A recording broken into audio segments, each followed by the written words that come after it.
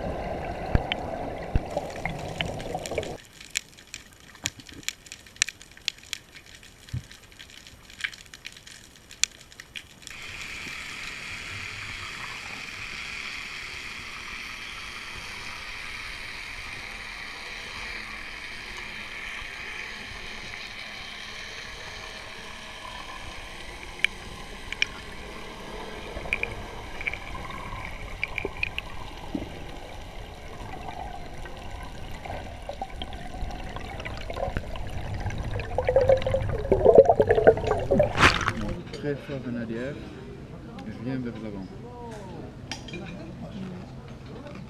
Alors, c'est plus efficace quand on est symétrique sur l'axe.